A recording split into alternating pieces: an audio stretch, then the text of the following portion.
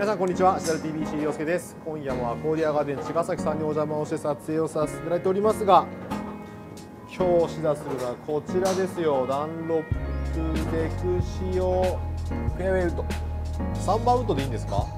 サンバウトゼクシオで3番のシダってなかなか珍しくないですか？いやいや普通でしょ。やんのかなと思ってまあ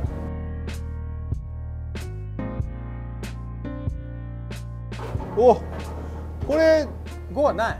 ドライバーと一緒で上にウイングが生えてますよ。ウイングが。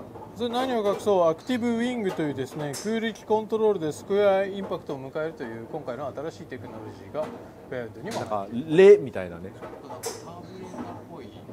でもゼクションってもともとこっち側のクラウンのこうフェイス寄りに段差がもともとそうだっけ？ダンロップのって結構ここ段差ついてるのが多くてスリクソンとかのフェアウェイウッドもここに棚が1個あるみたいセクションはある。なはい。でその棚に対してここにウイングが。でこのレじゃない部分はライトウェイトクラウンというこう薄肉軽量化したクラウンになってるらしいです。カーボンじゃないけどはい。あのクラウン部は軽くしてる。うんうん。あのステンレスボディのあ嘘失礼。マレージングコーボディの HT1770M の。うんとね正直言っていいですか、ドライバーと比べると左に向いてる度合いがすごい。おっおっていう。やばいね。ドライバー僕そこまで左に感じなかったんだけどこれは結構左に向いて感じるかなあの置いた時に閉じるんだ。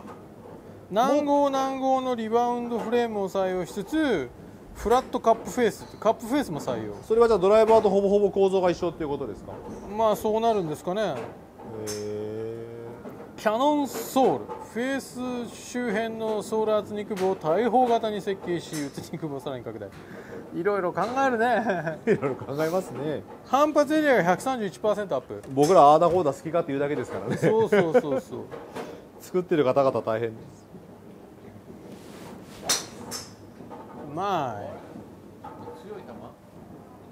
うん。なんかもっとカキーンって言うのかなと思ったら僕が悪いのかもわかんないですけど。いいやいやなんかいい音じゃないですか。もっとなんかこうドライバーの時みたいな爽快な音がするのかなと思って。なんか音が違うね。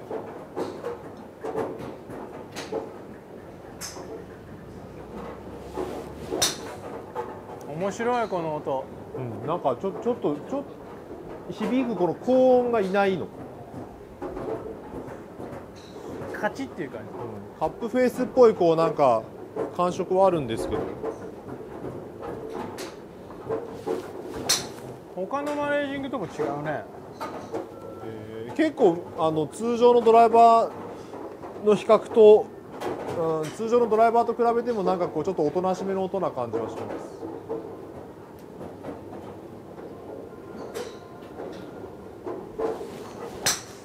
すちなみに3番ウッドで 185cc です。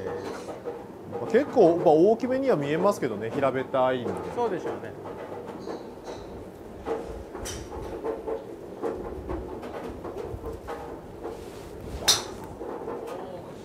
なんか浮くっていうよりはなんか前のめりなボールになってる雰囲気。というわけで一応3番ね。僕がちょっとフォーカスしたいのはロフト角16.5度の4番ウッド。バフィーですね。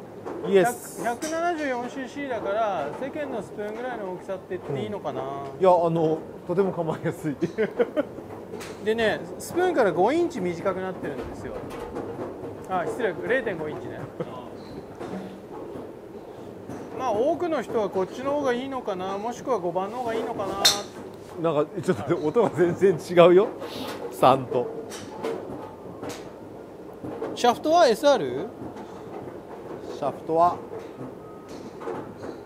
なんか嘘嘘 S です。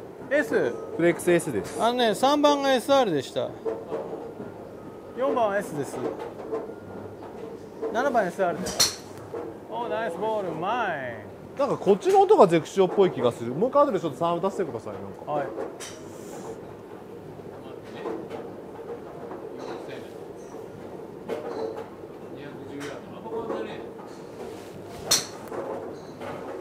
いやいいじゃん何にせよ球が強いですね。ちょっとゼクシオっぽくないね。従来こうもうちょっとこう軽い音でふわーってこう上に浮いてくれる感があったんですけどなんか結構球が前のめり。スピンは入ってんだけどね。なんか前前に行く球になるね。スマッシュすごいね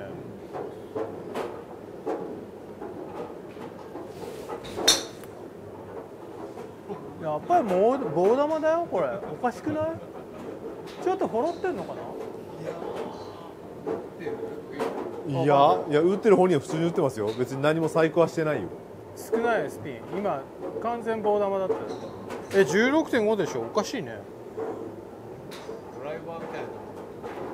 まあでも3番ウッドを無理に使わなくてもこっちでいいと思う。あんまりでも高さ変わんないうん、だから5番ウッド7番ウッドベースでいいと思うんですけど飛ばしたかったらまあ3を足すってなるのが、まあ、4でも十分かなっていう、7が薄くなるのかアニカ・ソレンスタムみたいな。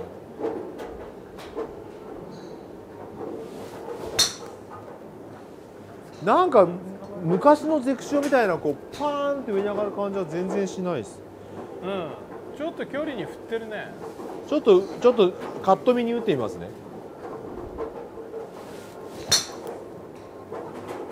そうこれぐらいの感じを普段から浮くと思ったんですよね。はーい。7番ですよ。20度。20度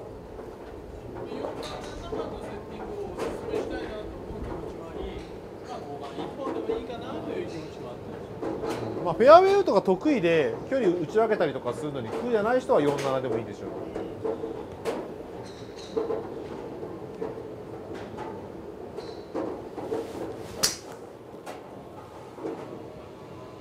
いやでもやっぱ7でもこれはそこまで上がらない。あの高さが5の感覚ですイメージ的には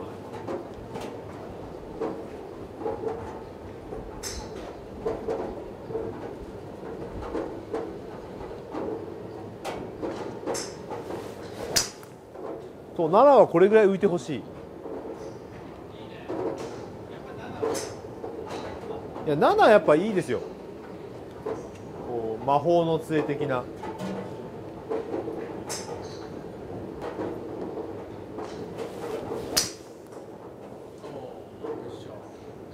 なんか契約女子プロの要望でとかじゃないんですかなるほどちょっと前行きたいいやー違うでしょいいじゃないですかじゃあ3でこんなに飛ぶんだったら7バウンド1本でいいですもんね。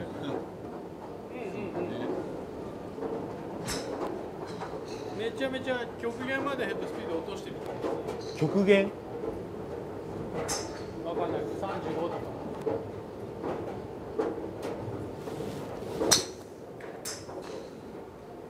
こういう人いるよね結構ね。今みたいな極限いくよ極限ナイスボールヘッドスピード29.8極限もうちょっとスピード上げてもいいんじゃないかなあナイスボールはい前行くねも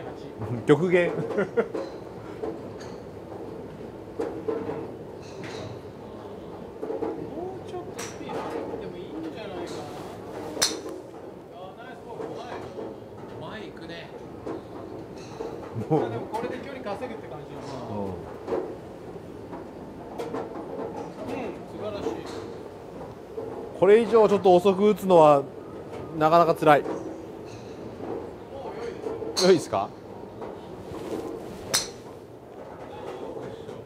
すげえうまいあんな球打ってたらねすばし出てるでからも遅い方が球質もちょっとこう薄い感じが1.54出ちゃってるあれ初速ランキング1位。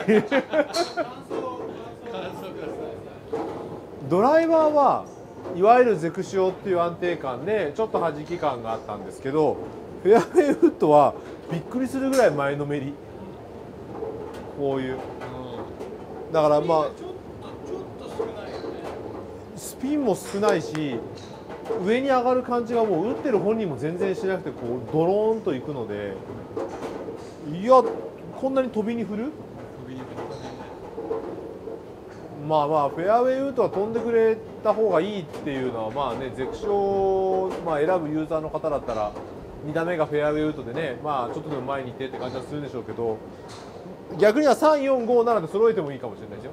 もう転がって飛んでくれっていうことなのかなゼクションユーザーただ3はなかなか浮きづらいと思うので、まあ、5とか4ぐらいで考えてもいいかもで3が使えるのは本当に浮かせられる人かなっていう感じはします。そういう人は4に行った方がいいもう。一層に行った方がいいでもやっぱりそうは言ってもね5を使ってるとやっぱりもうちょっと飛ばしたいって必ずそういう気持ちになるので、まあ、最初から4にしといたらっていう感じはします、まあ、3はティーアップ用にしてもいいかもしれない。なんか長いパー3とかで刻まなきゃいけないとかそういう時用。あじゃあ最後に3番でティーアップしてみてよ。はい。確かにね。ほらね長いパース長いパー3とかでかといってドライバーは持ちたくないっていうね。そこはちょっとプライドの問題でねフェアウェイウッドっていう場合があるでしょ。確かにパー3でドライバー使うのはちょっと嫌だ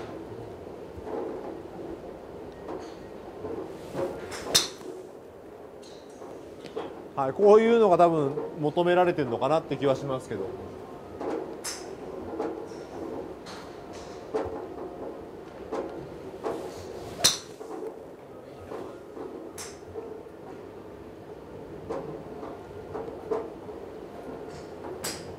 小林さんは今日スピンの前後が遅いから今のでねキャリー174